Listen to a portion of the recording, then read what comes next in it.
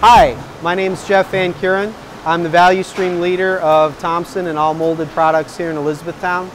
And I'm here to demonstrate a little bit about how our molding works. So molding starts by the pellets that we buy called resin. Here's an example of that.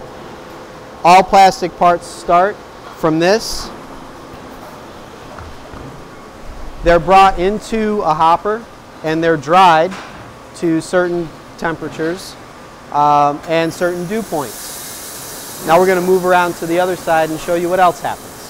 So after the resin has been dried properly, it's pulled up into this very small what's called hopper, which goes into a feed throat, uh, which goes into a barrel.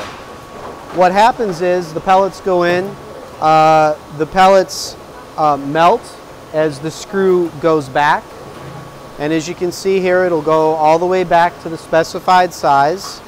And that solid pellet has now become liquid plastic here.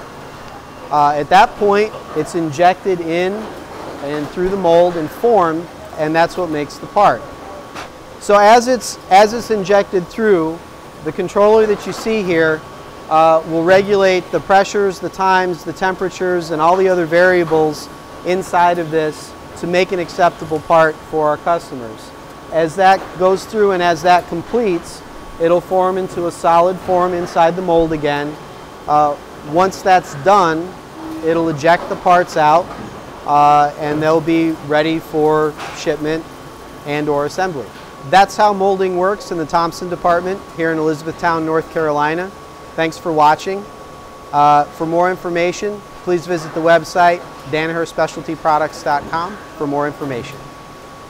Thank you.